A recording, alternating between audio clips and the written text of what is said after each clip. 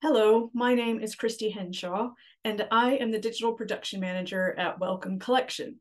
We're a museum and library in London, England, and we are part of the Wellcome Trust, one of the largest private health research charities in the world. As part of the museum and library, my colleagues and I have made around 300,000 items from our collections freely available online.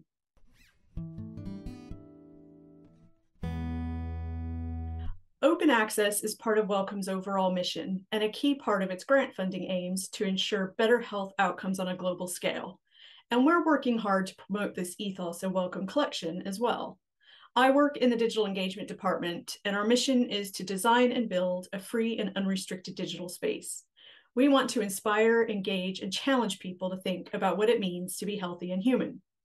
We participate in open culture by working to make our historic library, archive, and art collections freely available online. We also provide APIs for machine access to our data and develop our code in open source GitHub repositories. We use Creative Commons tools such as the public domain mark and open source licenses, among others, as standardized licenses support interoperability and compatibility with other collections.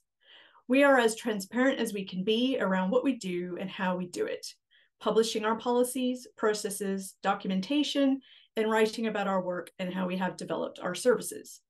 All of this means that users are able to find, access, and use our content with fewer barriers and less friction. And this makes it easier for them to learn, share their learning, to create and innovate. Using public domain or open licenses also makes it easier to disseminate our collections much further and reach a wider and more diverse audience via aggregators on an international scale, such as Wikicommons and Internet Archive, on a national scale, such as Art UK, or on a more targeted thematic level, such as the Digital Transgender Archive or Biblissima. This basically means we're able to reach more people in a more equitable fashion. Barriers. Barriers exist for so many reasons financial incentives, resource limitations, or a fear of some kind of loss of reputation or control, just to name a few. At Wellcome, the barriers we experience now are mostly due to the scale of the collection and the technological complexities in making everything open. We have a lot of collections that are in copyright or include personal data, and we have to ensure that we protect the creators and subjects of this material from unauthorized access or use. We have complex collections that are simply tricky to make available online for technological reasons, um, and we've worked over the years to make our collections more and more open, and not by just creating digital content that can be made mm, available more widely than, for example, the physical items, and developing technology to make it possible, but also by revising our policies. We haven't always been as open as we are now. Not that long ago, it wasn't that common for GLAM organizations, that's galleries, libraries, archives, and museums, to make their collections available under open licenses. If they did, it was often only thumbnails or small numbers of items. We were the same originally. When we started thinking about opening things up even more, there was a fear that we would lose our users. Maybe they'd take the stuff and be off with it, never to return, or they might use it without acknowledging us. And therefore, all the hard work that we put into making it available in the first place would be lost. That the context would be lost, maybe images, videos floating around out there, without all the carefully crafted descriptions that we've written to place them in some kind of context. But what we found as we've opened up our collections more and more uh, is that we became more well known and more of a destination. So access to our online collections constantly grows, even though most of our content is out in the world now as public domain or openly licensed and available via multiple sources, as I mentioned earlier most users are actually pretty well aware of how to credit content, how to make, and they do make an effort to do so. Most of the time, serious users are keen to include context. They provide source information. And they treat the content and us with a level of respect. You can't always guarantee it, but this is the experience that we have had.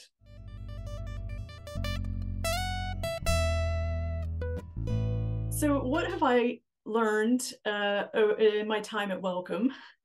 Well, on a personal level, what I've learned is that you can't go open without risk. If you want to eliminate risk, it is just, just not compatible with providing broad access to content and data. And so you need do need to consider those risks very carefully. You need to consider them in order to understand how to reduce them or, you know, where you need to avoid certain things, but also so you can actually really judge where the risk lies. So, for example, you might have an idea that content will be immediately monetized as soon as you let it loose, taking advantage of your hard work. But think about the actual risks with that. What sort of content are we talking about? How likely is it really that it's going to happen? And if someone were to make that t-shirt or print copies of that book for resale or, or many, many other things that someone might want to do, what is the impact on you and your users really? Is that risk worth blocking access to many more legitimate uses? And is commercial use even a problem? Or is it actually just one more benefit that you're providing and maybe actually happy to provide to the economy? So this kind of exploitation may have a big negative impact in some cases, depending on your situation, the type of content, and you know where you're positioned as an organization. But it may have little to none in others. So just sit down, think about it. It may be some of the risks aren't actually where you need to focus your energy. There's just this is just one example of many. But I just wanted to say that going open doesn't mean throwing all caution to the wind. It does go hand in hand with a good understanding of the risks and the benefits.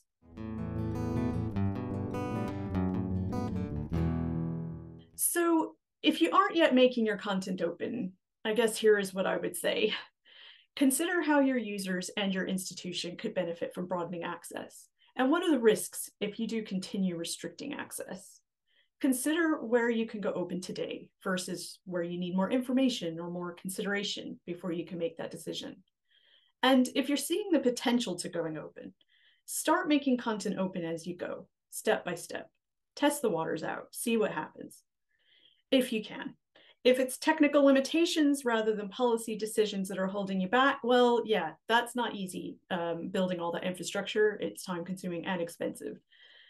But you could consider making use of aggregators that host content for free, such as Wikicommons, Internet Archive, Europeana, and others. It's relatively low effort to put images and other media up on these sites, and you can start to see the benefits of open access pretty quickly. You can link to them from your catalog, you can create online experiences using the content hosted on these sites. So you can start to experiment and see how going open works for you. So I would say just try it out.